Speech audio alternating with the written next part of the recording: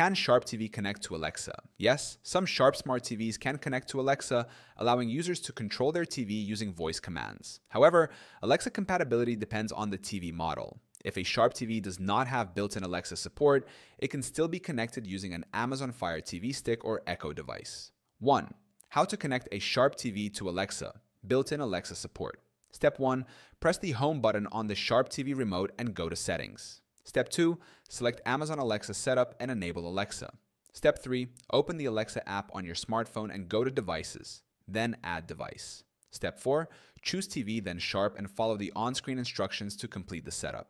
2. How to connect a Sharp TV to Alexa using Fire TV Stick. Step 1. Plug an Amazon Fire TV Stick into the TV's HDMI port. Step 2. Set up the Fire TV Stick and connect it to the Alexa app. Step 3. Use voice commands like Alexa, open Netflix, or Alexa, turn off the TV. 3. How to connect a Sharp TV to Alexa using an Echo device. Step 1. Ensure the Sharp TV and Amazon Echo device are connected to the same Wi Fi network. Step 2. Open the Alexa app and enable the Sharp TV skill. Step 3. Pair the TV with Alexa and test voice commands like Alexa, turn up the volume. 4. What can Alexa control on a Sharp TV? Power on off. Alexa, turn on the TV. Change volume. Alexa, increase the volume. Open apps. Alexa, open YouTube on my TV. Change channels.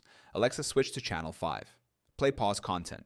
Alexa, pause the video. Some Sharp TVs have built in Alexa, while others require an Amazon Fire TV stick or Echo device. If Alexa is not working, checking Wi Fi, updating software, and enabling Alexa in settings can help fix the issue.